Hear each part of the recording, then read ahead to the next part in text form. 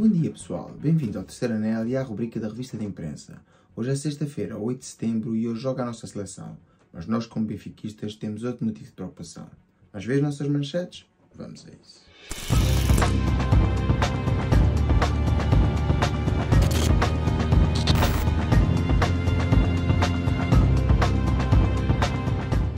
Pois é, pessoal, a Liga quer mesmo avançar com o processo de centralização e, assim sendo, consequentemente, a repartição dos direitos televisivos irá afetar assim o nosso orçamento. Mas o nosso Presidente está bastante atento e, tal e qual como muitos de nós benfiquistas, está contra esse processo. Mas já iremos lá. Vamos começar por ver as nossas capas e começamos, como sempre, com o nosso jornal Amigo do Norte, o jogo. Aqui todos se matam para jogar. Quem o diz é Jorge Sanches. O mesmo já está a par do grau de exigência de Sérgio Conceição. Vou dar a vida por estas cores. Não dou uma bola como perdido. E ainda o jejum de Taremi chega ao Irão. Sem marcar pelo Futebol Clube do Porto há 415 minutos, ficou também a zeros na seleção. Ora, se Taremi focasse assim a sua posição e a sua atitude em campo em marcar gols, em vez de arranjar penaltis e arranjar simulações idiotas, talvez o mesmo já tivesse marcado mais gols esta temporada. Talvez está na altura de alguém pôr isto na cabeça deste miúdo, pois ainda é um jogador com alguma carreira pela frente e está assim a arruinar a mesma, pois só se preocupa atualmente em tentar arranjar penaltis. Qualquer jogada dentro da área, o mesmo procura cair antes que chutar a baliza. Mas enfim. E agora aqui o destaque para a nossa seleção, que entrou hoje em campo na Eslováquia às 19h45. Assim, num feito histórico, Portugal tenta um arranque inédito, tentando 5 vitórias em 5 jogos. Entretanto, Bob Martínez diz que Cancelo e Félix estão perfeitos, defendendo assim as escolhas que deram polémica. E entretanto, Ruben Neves é baixa confirmada. Aqui está, Portugal entrou hoje em campo na senda do apuramento para a próxima grande competição internacional. Robert Martínez está assim contestado por algumas escolhas que fez, no entanto, tem assim 4 vitórias em 4 jogos e a possibilidade, se alcançar hoje uma vitória, de bater assim um recorde histórico. Agora aqui no Sporting, Catama pode custar 5 vezes mais, Leões falharam prazo que garantia outros 75% do passe por 600 mil euros. E Amorim quer Nuno Santos arriscar mais no 1 contra 1. Ainda aqui Sinking Football não quer ser mais do que um adepto. Quem o diz é Rui Moreira, que discursou na abertura do evento. Ora, aqui está o autarca do Porto, uma vez mais, a marcar a sua posição num evento. Talvez o mesmo esteja assim a fazer o seu caminho para ser o próximo presidente do Futebol Clube do Porto. Há quem diga que sim, há quem diga que não. No entanto, não deixa de ser estranho que o mesmo comece nesta altura, em que o Futebol Clube do Porto começa a fraquejar, a começar assim a ser um dos principais críticos, principalmente de forma pública. Será que está assim a alinhavar o caminho? Muito provavelmente. Na arbitragem, nove lances em alta voz. Comunicações do VAR divulgadas pela primeira vez. E tal e qual como alguém já disse na comunicação social, na minha opinião, não faz qualquer sentido se estas comunicações forem públicas apenas uma vez por mês, pois vamos estar assim a levantar fantasmas que já estavam enterrados há três ou quatro jornadas atrás. Isto iam ser públicas semanalmente. De outra forma, não faz qualquer sentido. E agora aqui o destaque para o nosso Benfica. Direitos da TV, Rui Costa reforça a posição. Não vamos sair prejudicados. O presidente das Águias insiste no aviso sobre o processo da centralização. Entretanto, Florentino na lista do Barça para janeiro.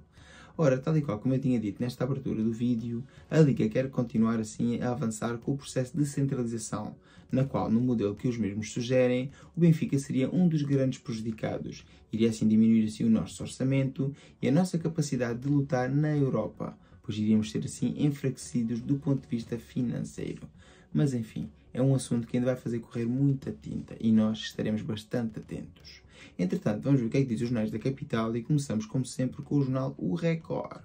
Champions não é utopia. Rui Costa considera estupidez não alimentar o sonho. Diz o mesmo, no dia em que eu não disser que o Benfica parte como favorito na Liga, tirem-me desta cadeira. E ainda aqui o nosso vice-presidente Luís Mendes diz, os nossos orçamentos não podem ser reduzidos, voltando assim as águias a torcer o nariz à centralização. Nas seleções, Di Maria prepara adeus à seleção, fica apenas até à próxima Copa América. E entretanto, Bá sai lesionado no jogo com a sua seleção. E isto sim para mim é um motivo de grande preocupação, a possível lesão de Bá, pois calhar mesmo a cair lesionado por um longo período, o Benfica, na minha opinião, não tem uma alternativa credível e muito provavelmente teremos que ver outra vez Arsens a ser adaptado a defesa direito, algo que, na minha opinião, não só prejudica a evolução do jogador norueguês, como tira assim o máximo potencial à nossa equipa. Mas enfim, um erro de mercado que poderemos vir a pagar bastante caro. Na nossa seleção não podemos agradar a todos. Robert Martínez dá troco aos críticos. Hoje Portugal entra em campo às 19h45 na Eslováquia. Cancelo e Félix espreitam o 11. Já no Sporting, plantel sem emprestados pela primeira vez em 15 anos. Compra de Trincão acaba com um hábito antigo. E no Futebol Clube do Porto, Jorge Sanches sente as marcas da competição interna no Dragão. Aqui matam-se dentro de campo. E João Mário já é centenário. Ora, e agora vamos experimentar então o que é que diz o Jornal da Bola. E o mesmo diz-nos que, com muita paixão, Félix e Cancelo estão ao nível perfeito para jogar. Críticas de Amorim não posso agradar a todos. Quem o diz é Roberto Martínez, que sabe como ganhar em Bratislava. Bernardo Silva diz ainda: Eslováquia merece todo o respeito. E isto sim é muito importante. Portugal, embora seja a seleção favorita para ganhar o jogo de hoje, tem que entrar a todas as partidas com esta mentalidade, a de ser uma equipa humilde, mas uma equipa ganhadora, uma equipa que entra em campo para ganhar, mas que respeita o adversário, pois o respeito no desporto é bastante importante. Ainda aqui, no Futebol Clube do Porto, Jorge Sanchez quer ganhar títulos no Dragão. E ainda na arbitragem começou a divulgação dos áudios do VAR. Já no Sporting, Diomande e Morita aumentados. E na Liga, Pedro Proença pede humildade para melhorar. Ora aqui, este senhor pede humildade. Ah, e sinceramente já nem tenho palavras para comentar as atitudes e as características da personalidade desta pessoa e desta individualidade do desporto nacional. Enfim, não vou perder mais tempo com este senhor. Vamos ver sim o destaque pequenino para o nosso Benfica. Presidente sonha com o título europeu. Ora, e aqui o Jornal A Bola a dar assim um pequeno destaque à alcapreça da Cofina decidiu dar assim a grande manchete. Não sei se por escárnio ou questão que tinha nada mais interessante para pôr na manchete, mas na minha opinião não é a altura indicada de estarmos a falar em títulos europeus. Primeiro, há que recuperar assim a hegemonia do futebol português. Há que ganhar não só o campeonato nacional, como as taças. O Benfica tem que voltar aos padrões desportivos que regiam assim o clube nas décadas de 50, 60, 70, 80 e inclusivamente no início dos anos 90. Pois o Benfica, sendo o maior clube nacional, não pode ganhar o campeonato ano sim, ano não, ou estar dois ou três anos sem ganhar o campeonato. E muito menos ganhar um campeonato e negligenciar as taças.